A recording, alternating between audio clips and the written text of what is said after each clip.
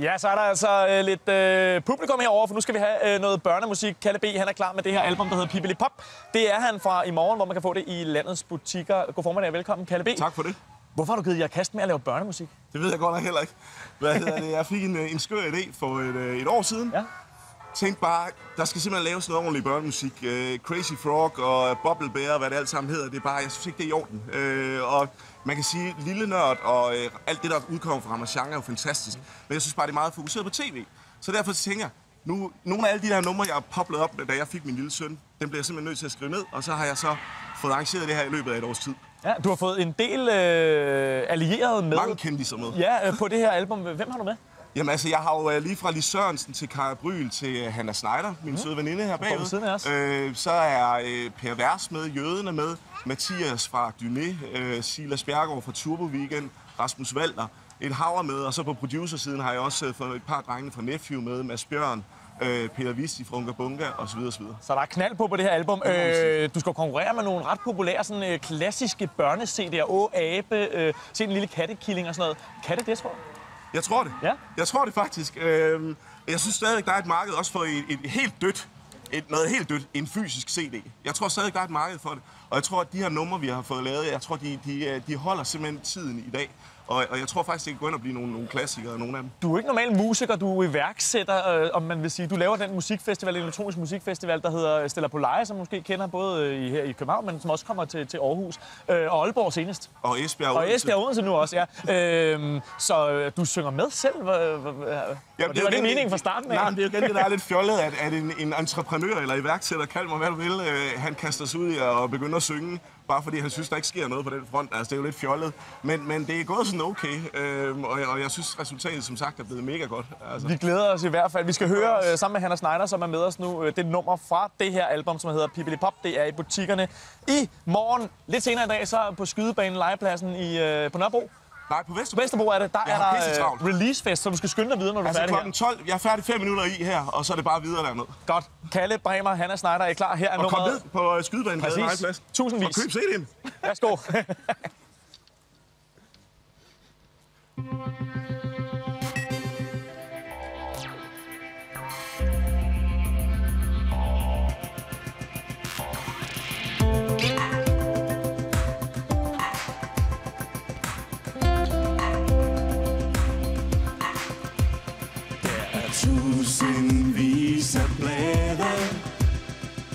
På træet, der står her i min have.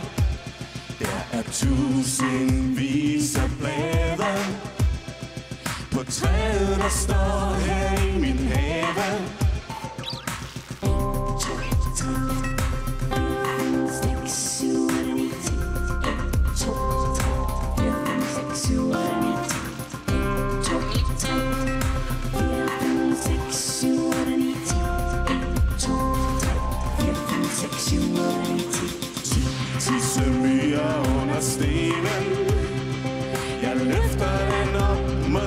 Men kan se dem Jeg har samlet 15 æbler her i Spanien.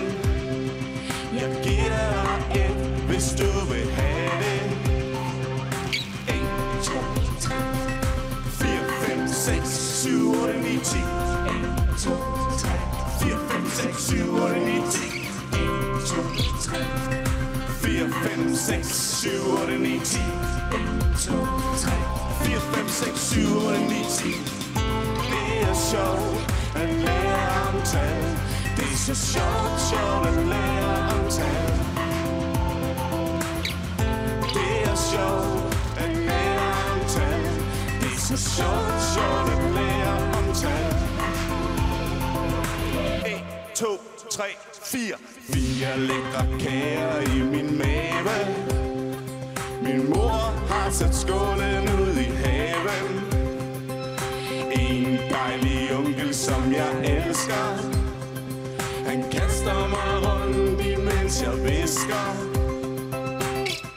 Det er sjovt at lære om tal Det er så sjovt, sjovt at lære om tal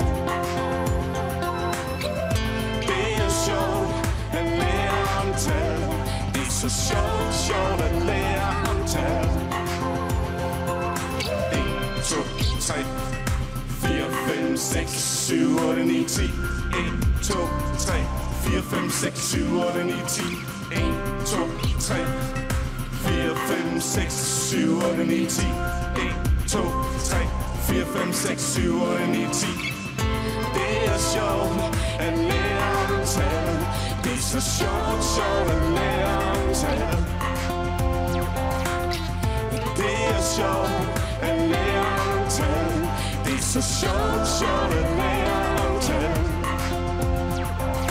1, 2, 3, 4, 5, 6, 7, 8, 9, 10 2, 3, 4, 5, 6, 7, 8, 9, 10 1, 2, 3, 4, 5, 6, 7, 8, 9, 10 1, 2, 3, 4,